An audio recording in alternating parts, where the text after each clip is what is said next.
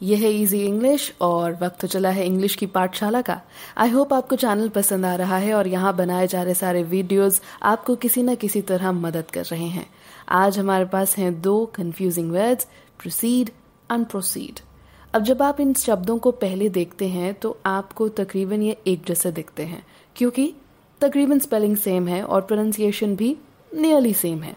But इनका usage और meaning different है और यही वजह है कंफ्यूजन की।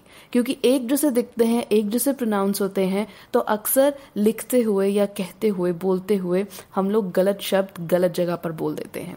राइट सो so, आज हम मीनिंग समझ लेंगे यूसेज समझ लेंगे प्रॉब्लम रहने ही नहीं देंगे।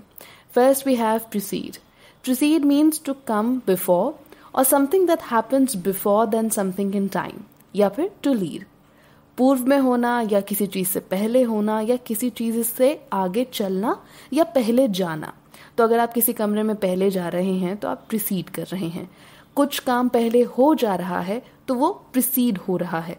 और किसी चीज़ से पहले हो जा रहा है, पूर्व हो जा रहा है तो उसे भी प्रिसीड कहेंगे। For example beautiful dance performance preceded the main event यानी मेन इवेंट से पहले ब्यूटिफुल डांस परफॉर्मेंस हुआ।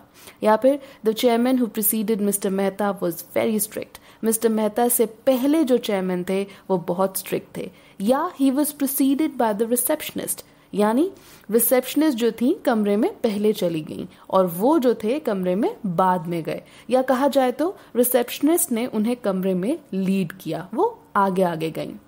Next we have proceed proceed is to begin to get moving to get going move ahead make way यानी आगे बढ़ना या शुरू करना। देखिए, बहुत सिंपल सा एक मेथड है जिससे आप याद रख सकते हैं। प्रो जहाँ है प्रो सीड यानी शुरू कर देना। आगे चलना, आगे बढ़ना टू गेट मूविंग और to get going proceed जब आती है प्री सीड तो प्री मतलब पहले पहले हो जाना, पहले चले जाना, पहले कमरे में चले जाना। तो प्रिक्वल से याद रखिए प्रोसीड एनीवे प्रोसीड के example as we still have time let's proceed with the next chapter यानी हमारे पास अभी वक्त है तो चलो, अगला चैप्टर पढ़ते हैं।